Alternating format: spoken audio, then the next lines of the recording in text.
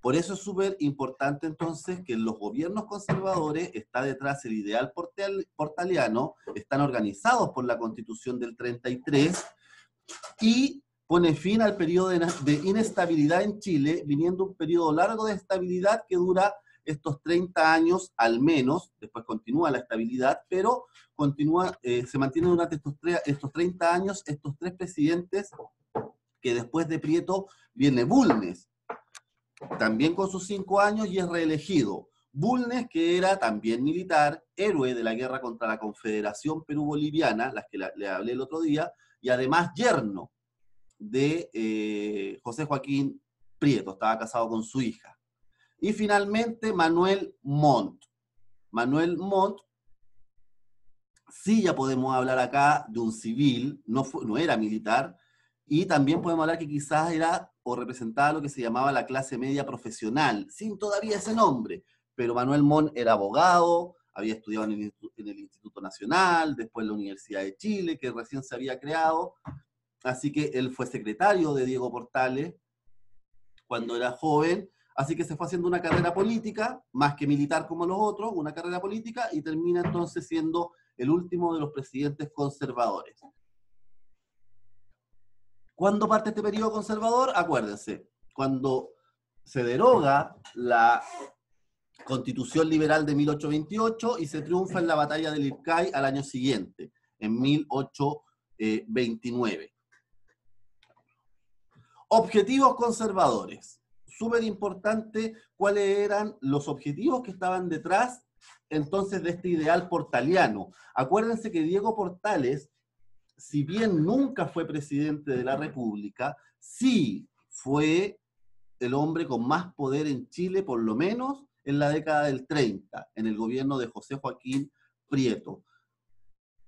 ¿Qué querían los conservadores? Como dice acá, restablecer el orden interno, es decir, terminar con este periodo que ya vimos, ¿cierto?, de inestabilidad política, de anarquía, en que tuvimos 12, 13 presidentes en 7 años, en que todos renunciaban con distintos ensayos constitucionales, uno moralista, después otro más liberal, después las leyes federales, después de nuevamente liberal, etcétera, que se iban cambiando, que no, no existía ningún tipo de orden político, administrativo e institucional. Por lo tanto, lo que se plantean los conservadores es no. Si Chile va a ser un país independiente, hay que ordenarlo primero, ordenar la casa. Ordenamos y ahí vemos entonces recién a qué nos vamos a dedicar en cuanto a la economía, cuáles van a ser los derechos y libertades de la ciudadanía, quiénes van a votar, etc. Pero primero tenemos que ordenarnos. Así que crean entonces un orden institucional muy importante y someten a la oposición liberal a la fuerza. Por algo hay una batalla, la batalla del Ircay, es una guerra civil. Y los, los, vencidos son exiliados o encarcelados. Por lo tanto, el gobierno de José Joaquín Prieto no tiene prácticamente oposición. No hay una oposición organizada en contra de él. Todos los diputados y senadores que se eligen son afines al gobierno. Recién en Bulnes vamos a ver cómo se intentan organizar algunos eh, círculos de oposición, más que nada en Concepción y más que nada de manera violenta. Hubo, varios intentos de revolución con el gobierno de Bulnes y con el gobierno de Montt por parte de la oposición. Pero en general la oposición estuvo sometida. No hubo participación de la oposición en la política eh, chilena. Y otro importante era acabar con el bandidaje rural. ¿Qué quiere decir esto? Del bandidaje rural, en que al ser Chile un país con muy poca organización en cuanto a la administración, en los campos, ahí sí que era la ley del más fuerte. En los campos se producían robos de animales, robos de cosecha, etc. Por lo tanto, también viene esto de la eh, de acabar con el bandidaje. Eh, poquito antes de esto estaba, quizás ustedes lo han escuchado, el tema de los Pincheira, por ejemplo, que sí existieron, eh, pero bien idealizados después en el futuro, pero es más o menos eso, eran bandas de cuatreros que recorrían los campos robando animales y eh, robando cosechas. en esa época en Chile existía la pena de muerte, así que básicamente a los que pillaban los mataban inmediatamente, los fusilaban. Así que eso era uno de los objetivos. ¿Qué otro objetivo, aparte de restablecer el orden interno, estaba obviamente, que era lo que más quería Portales también, estabilizar la economía. ¿Cómo estabilizo la economía? Primero, asegurándome de gastar menos como Estado, gastar menos recursos y al mismo tiempo recibir más recursos. ¿Cómo dijo Portales vamos a gastar menos dinero? Vamos a dar de baja a todos los oficiales que, que quedan en el ejército de la época de la independencia. Y los dio de baja a todos, todos para casa. Expulsó a todos los héroes de la independencia, que todavía ya estaban más viejitos, pero, pero todavía estaban en el ejército, los expulsó, los mandó a casa y él colocó a una oficialidad más joven, que fuera adicta a los gobiernos. Y ahí aparece la figura, por ejemplo, de Manuel Bulnes, que después iba a ser presidente. Así que en una reducción del Estado, eh, él reduce el, el, ejército y también despide a muchos funcionarios públicos. Todo se concentra en Santiago. Esa es la definición total y absoluta. Todo parte en Santiago. Acuérdense que un Estado unitario y un Estado centralizado, el Estado de Chile. Crea un sistema tributario nuevo. ¿Cuáles son los tributos? Los impuestos. Es la principal forma en que se financia un Estado, a través del cobro de impuestos. Y el o sea, eh, crean un nuevo sistema tributario con la organización de un Ministerio de Hacienda. Ministerio de Hacienda que fue organizado por una persona que se llamaba Manuel Rengifo. Y él se encargó entonces de crear un nuevo sistema de impuestos para recaudar dineros para el Estado, se encargó de pagar la deuda que teníamos con Inglaterra. ¿Se acuerdan que yo les conté que una vez asegurada la independencia en Chile, había que asegurar la independencia en Perú? Por lo tanto, Chile le pide un préstamo a Inglaterra para poder construir una flota, construir barcos, construir una marina que fuera en apoyo a el Ejército Libertador del Perú. Esa deuda había que pagarla. Más encima, Perú, en esa época, cuando ya logra la independencia, desconoce esta deuda que tenía con Chile. Y desde el Perú se dice, no le vamos a pagar la deuda a Chile porque ellos nos quisieron liberar en el fondo. Nosotros no le pedimos, como peruano, a Chile ayuda. Ellos solitos vinieron, así que no tenemos nada que pagar. Como Perú no quiso pagar y Chile tuvo que hacerse cargo entonces de la deuda con Inglaterra, que había asumido, viene el pago de esta deuda. Y viene súper importante la reformulación de la ley de aduanas, sobre todo acá en la región de Valparaíso. Las aduanas físicamente es el espacio donde se reciben los productos que vienen del extranjero. Esas son las aduanas. Todo lo que llega del extranjero tiene que pasar por una aduana, porque ahí, aparte de ver las cosas sanitarias, se ve el tema de qué impuestos tienen que pagar los productos que entran del extranjero. Por lo tanto, en el periodo conservador, Valparaíso se toma como objetivo que sea el principal puerto del Pacífico y además se crean edificios de aduana gigantescos, unas bodegas gigantescas, donde funcionarios iban viendo producto por producto para cobrar los impuestos. Eso entonces es como estabiliza la economía el periodo conservador, reduce el gasto, achicando la administración, dando de baja a los oficiales del ejército más antiguo disminuyendo el tamaño del ejército y además creando un nuevo sistema tributario y reformulando esta ley de aduana con la importancia que va a tomar el puerto de Valparaíso. Siguiente, importantísimo, si bien ya habíamos eh, ganado la independencia, ya Chile estaba siendo reconocido por gran parte de los países del mundo como un país independiente y soberano, había que asegurar esa soberanía. En esa época, el mundo todavía no estaba ocupado como lo vemos ocupado hoy en día, no estaba con fronteras claras, con límites claros, y en el fondo el que llegaba a un lugar podía proclamarse dueño de ese lugar, sobre todo los países. Por lo tanto, para Chile fue fundamental, fundamental, ocupar el estrecho de Magallanes. Era la puerta de entrada al Pacífico. Desde Europa, para llegar a la costa del Pacífico, había que pasar por el estrecho de Magallanes. Piensen ustedes en el mapa de América, de América completa, desde Canadá, desde Alaska hasta la Antártida. El único paso que hay del Océano Atlántico al Pacífico es el estrecho de Magallanes, es el Cabo de Hornos. Ahora existe lo que se llama el Canal de Panamá, pero es un canal artificial que se construyó hace 100 años. Hace 200 años no existía. Por lo tanto, todos los barcos que de Buenos Aires, por ejemplo, querían pasar al Pacífico, tenían que hacerlo por el estrecho de Magallanes. Incluso, piensen en la ridiculez, piensen en un mapa de América. Piensen en este mapa de América que desde el polo norte al polo sur está el continente americano. Estados Unidos, que todavía no construía el ferrocarril que atravesaba todo el continente hasta el Pacífico, porque Estados Unidos, yo les dije la otra vez, las colonias estaban por el lado atlántico, por el lado eh, este.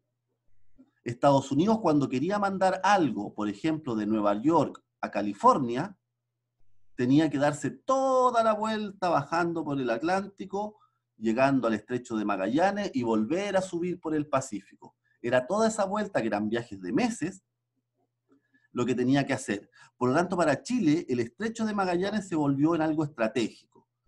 Si se dominaba el estrecho de Magallanes, se dominaba entonces el paso de todos los barcos del Atlántico al Pacífico. Por eso, Punta Arenas, que conocemos hoy en día, al principio se llamaba el Fuerte Bulnes, porque fue Manuel Bulnes, el presidente Bulnes, el que mandó a colonos a, y, parte de, una parte del ejército a construir un fuerte para tomar posesión del estrecho de Magallanes. Y después de unos 15 años, eso se transformó en la ciudad de Punta Arenas. Dice también la colonización de Yanquihue. Yanquihue hoy día es lo que conocemos como la región de los lagos, la zona donde está Frutillar, donde está Puerto Montt. Por algo Puerto Montt se llama así. Fue Manuel Montt, entonces, el que estableció también una colonia en la zona del Yanquihue, porque eran tierras absolutamente ricas que si bien no estaban en manos de los mapuches, porque los mapuches estaban un poquito más al norte, sí había presencia huilliche, y era importantísimo para asegurar también la posesión de la isla de Chiloé y todas las riquezas, sobre todo en cuanto a la agricultura y a la ganadería que podía dar esa zona de Yanquihue. Por eso se llama Puerto Montt, que está ahí. Por eso se llama Puerto Varas, que está ahí al ladito. Varas era el ministro del Interior de Manuel Montt. Y como les decía, el, el posicionamiento de Valparaíso como la entrada al Pacífico. Todos los barcos que venían de Europa y querían ir a Asia o querían ir hacia el lado Pacífico o de Argentina o de Estados Unidos, tenían que sí o sí pasar por Valparaíso, porque era el primer puerto grande desde el estrecho de Magallanes hacia el norte. Por lo tanto, para abastecerse de comida, para abastecerse de agua, para hacer tierra, para dejar productos en las bodegas de la aduana, etcétera, estaba Valparaíso. Y Valparaíso se consolida durante 100 años casi como el principal puerto del Océano Pacífico. Si han ido al paraíso y lo conocen, podrán ver eh, edificios, sobre todo de principios del siglo XX, que están ahí y que existen a pesar de los terremotos, incendios que ha sufrido Valparaíso, aún queda parte de esa grandeza. Ya después con la construcción del Canal de Panamá, se vino abajo un poco la economía en Valparaíso y de hecho ni siquiera hoy en día es el puerto más grande de Chile. Hoy en día el puerto más grande de Chile es eh, San Antonio. Pero vivió su época de esplendor, que fue aquí, a partir de los años 1830 hasta más o menos los años 1930. El esplendor de Valparaíso, como puerto principal del Pacífico. Mucho más que Lima, mucho más que eh, otros puertos más hacia el norte. Ya. Diego Portales, esto lo vimos en la clase pasada, es un mini resumen, cuál es la influencia política, política que están en los ideales de Diego Portales. Esto, primero el ideal de orden. Eso es lo principal. Para tener orden, decía Portales, tenemos que tener un gobierno autoritario, autoritario. Es decir, que la autoridad esté por sobre las consideraciones de la democracia liberal que tanto se hablaba en esa época. Es decir, él decía, y yo les conté, si bien él fue el principal promotor de la constitución del 33, él decía que si el Estado o los gobiernos o la autoridad lo necesitaba, la constitución podía ser eh, pasada a llevar por el bien eh, máximo que era el orden. Por lo tanto, él consideraba, a pesar de que era prácticamente su constitución, él consideraba que si había que pasarla a llevar por el bienestar del orden, entonces se había, había que hacerlo el fin del personalismo. Yo también le hablé la clase pasada. Sobre todo en Latinoamérica surgieron en esa época muchas figuras que se llamaron caudillos. El mismo Higgins termina siendo un caudillo. Muchas veces Freire también es considerado un caudillo. Es decir, una figura que se sigue por su solo, por su solo nombre. Una figura que vende tan bien su nombre que todos tienen que seguirla. Él dice, no, Aquí no importa el nombre de la persona, lo que importa es el cargo. Esa es una de las razones, tal vez, por qué él nunca quiso ser presidente de la República, teniendo todo el poder y teniendo todas las posibilidades de serlo. Porque él no creía en el personalismo, no creía que una persona tenía que atribuirse el poder, sino que el poder tenía que estar en un cargo. Y ese cargo era temporal en una persona pero era más importante el cargo, era más importante en Chile el presidente de la República que José Joaquín Prieto, el presidente de la República que Manuel Bulne. Los hombres pasan, decían él, las autoridades quedan. Lo tercero, la subordinación, que ya lo hemos visto, de las Fuerzas Armadas al poder civil. Es decir, no porque las Fuerzas Armadas tengan el poder de las armas, van a gobernar en un país. Ellas tienen que estar subordinadas bajo la autoridad civil. Eso es algo que también se mantiene hasta el día de hoy en Chile. Y finalmente, él decía y hablaba del rol pedagógico del Estado. Acuérdense que él también les conté que él decía que Chile no estaba preparado para una democracia, sino que para una futura democracia, porque encontraba que el pueblo era una barbarie, no sabía leer ni escribir, era alcohólico, era aquí, era allá, no tenía respeto por nada. Por lo tanto, al pueblo se le gobernaba a palos, pero también desde el Estado había que enseñarlo.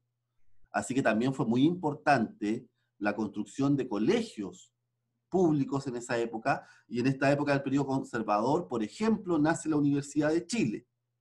Así que también está ahí eh, el rol entonces del Estado en la educación. Seguimos. Frente al contexto internacional, algo alcanzamos a ver la clase pasada también, con lo de la guerra contra la Confederación Perú-Boliviana.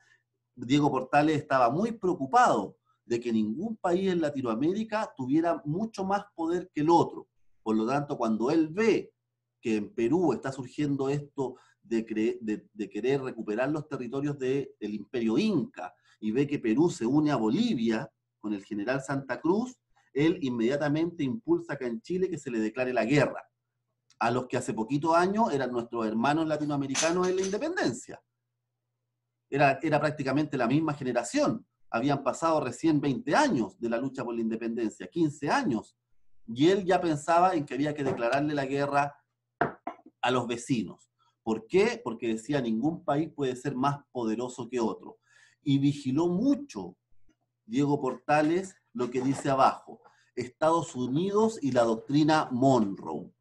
Cuando se produce la independencia de Estados Unidos y posteriormente la independencia de los países latinoamericanos, Estados Unidos dice, ya, entonces ahora ya no va a ser España, ya no va a ser Inglaterra, ya no va a ser Francia el que domine Latinoamérica, vamos a ser nosotros, Estados Unidos. Y esta doctrina Monroe hablaba de la intervención de Estados Unidos en los países latinoamericanos.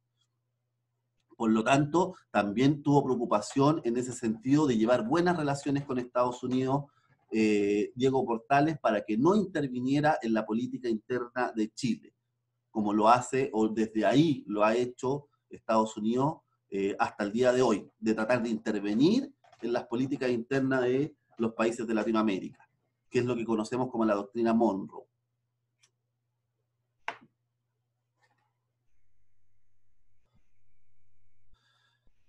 Y para que vayamos terminando hoy día, sí, nos quedan 10 minutos, veamos algunas consideraciones respecto a eh, la constitución del 33. ¿Ya? Para que vayan tomando apunte, esto es también una especie de recordatorio, pero es cómo se fundó eh, en esa época este orden institucional chileno, que duró por casi 60 años, hasta la Guerra Civil de 1891. Mariano Gaña es el que escribió la constitución del 33. Él, Mariano Gaña, fue el que el encargado, a petición de Portales, de escribir, de redactar esta constitución que pusiera un régimen, como dice ahí, de carácter autoritario, dándole al Ejecutivo, acuérdense que el Poder Ejecutivo es el gobierno, son tres poderes, el poder ejecutivo, legislativo y judicial, la división de poderes. El poder ejecutivo es el gobierno, es el presidente, los ministros, los intendentes, los gobernadores. Él dice que el poder ejecutivo tiene que estar por sobre los demás poderes, es decir, tiene que ser un país con un carácter presidencialista, es decir, lo que mantenemos hasta el día de hoy. Eso no ha cambiado en 200 años. Chile siempre se ha regido como un país presidencialista. Se hizo un ensayo parlamentario durante 30 años y fueron quizás los más inertes desde el punto de vista político en Chile, lo que menos se avanzó en Chile. En Chile siempre ha estado la figura del presidente de la República como la principal autoridad del país. ¿Proclama la separación de poderes del Estado? Sí, pero por sobre los demás poderes el poder ejecutivo. Habla de la soberanía popular, es decir, sobre todo manifestado en el derecho a voto. Acuérdense, la soberanía popular es que el poder es del pueblo y el pueblo lo delega en autoridades. Eso lo vimos en la primera prueba. Esa es la soberanía popular. Y habla de un gobierno republicano, es decir, en que se respeten la separación de poderes, en que se respete la democracia, pero en que además los cargos son temporales. Acuérdense de eso. Nadie está en un cargo para toda la vida. Algunas disposiciones generales de la Constitución del 33 para que entendamos cómo vivían los chilenos de esa época. Sufragio censitario indirecto ¿Qué quería decir el censitario? Lo que está acá al ladito. Es decir, los ciudadanos eran solamente los hombres, no las mujeres, eso era todo el mundo en esa época, mayores de 25 años los solteros y mayores de 21 años los casados y que tenían que tener un patrimonio, es decir, tenían que tener un capital en dinero o tenían que tener bienes inmuebles, es decir, propiedades. Y además debían saber, leer y escribir. Durante el periodo conservador, máximo, máximo, el 8% de la población tenía estos requisitos. Es decir, si hoy el derecho a voto, como no votan los menores de edad, en Chile más o menos representa el 65% de la población, en esa época era el 8%. Es decir, votaban muy poquitos, porque muy poquitos eran los que sabían leer y escribir, y aún menos los que tenían un patrimonio económico o un, bien inmueble. Dice en el tercer punto, y tomen apuntes, inexistencia de incompatibilidad parlamentaria. ¿Qué es la inexistencia? Quería decir que en esa época los ministros que elegía el presidente podían ser diputados o senadores, es decir, podían cumplir un rol en el poder legislativo y en el poder ejecutivo. Eso hoy no existe, hoy día existe la incompatibilidad parlamentaria. Un parlamentario no puede ser ministro, en esa época se podía. Por lo tanto, más aún influenciaba el presidente de la República en el poder legislativo, porque la mayoría de sus ministros eran diputados y senadores, los sacaba de ahí. Por lo tanto, había una injerencia muy importante del poder ejecutivo en el legislativo.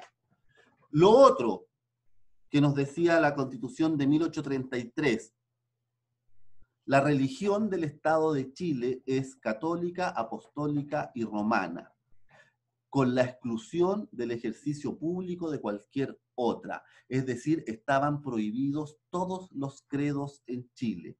Solamente podía haber religión católica. Si llegaba, por ejemplo, un extranjero de Estados Unidos, un extranjero de Inglaterra, que no son países católicos, ellos sus creencias las podían practicar solamente dentro del hogar.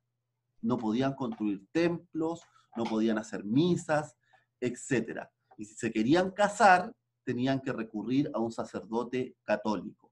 Esta fue una de las primeras reformas que se le hizo a la Constitución del 33, porque Chile se empezó a llenar mucho de inmigrantes, sobre todo ingleses, y después alemanes, etcétera, también de mucho estadounidense. Por lo tanto, se empezó a generar un problema en que ellos no podían practicar su credo porque la religión católica estaba unida al Estado. Eran un solo ente, el Estado y la religión, y la Iglesia católica. Por lo tanto, se excluía en un principio, en los primeros 30 años por lo menos, no se permitió otra religión en Chile. Poder Ejecutivo, es decir, el presidente de la República. ¿Cuáles eran sus principales atribuciones? Las que ya más o menos hemos comentado, chiquillos, que tienen que ver, primero, con que duraba cinco años en el cargo y podía ser reelecto. Como manejaba las elecciones e intervenía en las elecciones, era el presidente reelegido. Por lo tanto, todos duraban 10 años. Los primeros cuatro presidentes, porque ahí nos faltó uno más, que José eh, Joaquín Pérez, pero él no lo consideramos ya del periodo conservador, lo vamos a ver más adelante. También estuvo 10 años. Por lo tanto, mientras existió la reelección en Chile, siempre fueron reelectos. Nombra ministros y funcionarios públicos. Interviene en la elección de jueces. Gozaba de facultades extraordinarias como declarar el estado de sitio y vetar leyes del Congreso. Es decir, el Congreso podía aprobar una ley, pero el presidente podía no firmarla y por lo tanto esa ley no se convirtió o ese proyecto no se convertía en ley, no se promulgaba. Increíblemente, chiquillos, esos tres puntos, ministros, funcionarios públicos, intervenir en la elección de jueces y gozar de, de facultades extraordinarias y poder de veto, se mantienen hasta el día de hoy en Chile. El presidente de la República es el único que puede declarar estado eh, de excepción constitucional, como el que estamos viviendo ahora con el tema de la pandemia, está en la eh, el nombramiento de jueces de la Corte Suprema y está también siempre nombrando a sus propios ministros y funcionarios públicos. Por lo tanto, esos tres que aparecen acá, porque acá ahora son cuatro años sin reelección, pero estos tres de acá los mantiene. Ejercía el derecho de patronato. ¿Cuál es el derecho de patronato? Quería decir que era la autoridad máxima de la Iglesia Católica en Chile y él podía nombrar sacerdotes y obispos en Chile. Eso fue lo que desencadenó al final el fin del periodo conservador, porque el presidente de la República quiso ocupar el derecho de patronato y colocar un obispo aquí en Santiago, y la iglesia le dijo que no. Y ahí los conservadores se dividieron en conservadores que defendían el derecho a patronato y otros que defendían la superioridad, de, superioridad e independencia de la iglesia. Y ahí viene el primer quiebre de los conservadores por allá en el gobierno de Manuel Montt, en 1859. Ahí se produce el quiebre de los conservadores y el fin del periodo conservador. Pero eso es el derecho patronato, el derecho a elegir obispos o nombrar obispos acá en Chile. Convocaba al funcionamiento del Congreso Nacional, es decir, él, a su discreción, podía establecer cuándo funcionaba el Congreso, en sesiones ordinarias o sesiones extraordinarias. Él, entre comillas, podía cerrar el Congreso que no era cerrarlo, sino que simplemente no podían discutir leyes. Así que el poder sobre el, poder del Ejecutivo sobre el poder legislativo, como ustedes ven, era gigantesco. Y además, y se mantiene hasta el día de hoy también, él es el que está comandando las Fuerzas Armadas. Es, podemos decirlo así, el comandante en jefe de las Fuerzas Armadas en Chile. Nombra a los comandantes en jefe y les puede pedir la renuncia a los comandantes en jefe. Y, la, y las Fuerzas Armadas en Chile, desde esa época, se llaman no deliberantes, es decir, no pueden emitir opinión política las Fuerzas Armadas.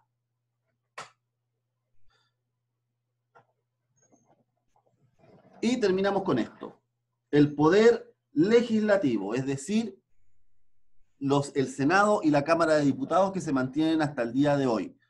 Como dice acá, dicta decretos y reglamentos necesarios para la aplicación de las leyes. Habían a veces leyes que salían y no se entendían muy bien. Bueno, quien dictaba esos, esos decretos y reglamentos eran el mismo Congreso. Hoy en día lo hace el Tribunal Constitucional, a veces lo hace la Contraloría o a veces lo hace el mismo presidente de la República. En esa época era el Congreso el que creaba lo que se llama las leyes interpretativas, es decir, cómo se interpreta una ley, cómo se aplica una ley podía interpelar a los ministros de Estado, es decir, la Cámara de Diputados podía llamar a los ministros de, Estado, a los ministros del presidente, a que dieran cuenta de sus funciones, de lo que estaban haciendo. Y el último punto es el más importante porque es el que va a llevar finalmente a la guerra civil de 1891. Y es el Congreso el que dicta las leyes periódicas.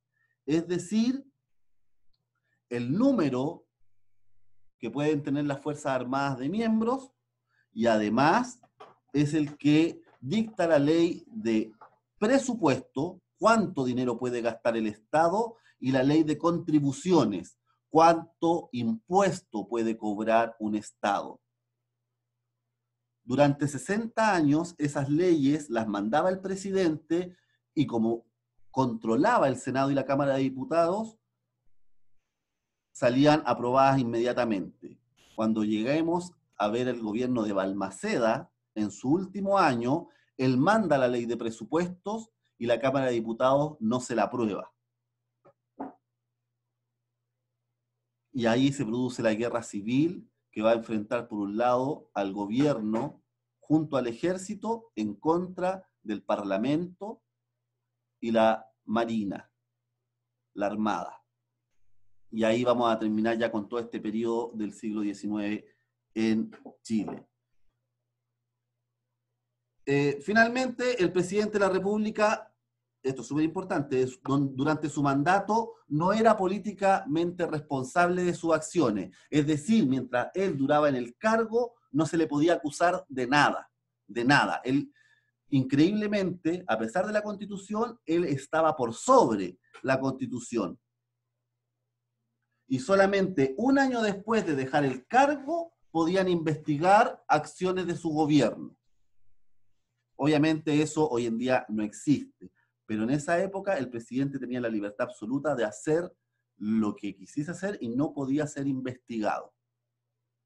Y finalmente, el Poder Judicial, que se crea como un poder independiente del Poder Ejecutivo y Poder Legislativo, pero finalmente entre el Poder Legislativo y el Poder Judicial elegían a todos los jueces, por lo tanto su independencia era hasta por ahí nomás, porque si un juez de repente no hacía mucho caso, simplemente no lo ascendían y no podía llegar a las partes más altas del poder. Ya chiquillos, que nos estamos pasando y tenemos clase más ahora. Eh, nos vemos, pongámonos de acuerdo para ver si el jueves en la tarde hacemos. No, no puedo el jueves en la tarde, chuta.